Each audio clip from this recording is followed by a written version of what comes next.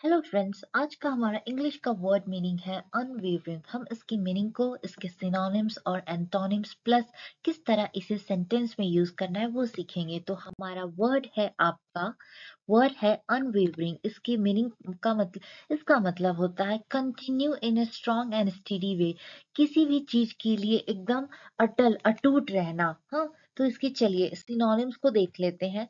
Synonyms है जैसे कि steady fix resolute resolve form decided fix रहना steed for unswerving resolve form ये कुछ इसके वर्ड है। स्टाउंच जैसे कि अटूट रहना, enduring determine abiding, ये इसके सिनोनिम्स है।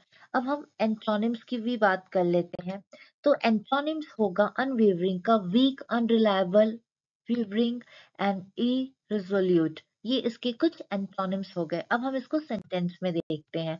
तो वर्ड अनवेवरिंग का पहला सेंटेंस है। His policy was consistent and unwavering conservative second one is his attitude was unwavering. And third one is, god is pleased when we approach him with unwavering faith.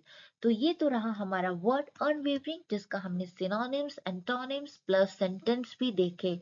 अब हम मिलेंगे किसी और word के साथ नेक्स्ट वीडियो में, तब तक के लिए have a great day and thank you very much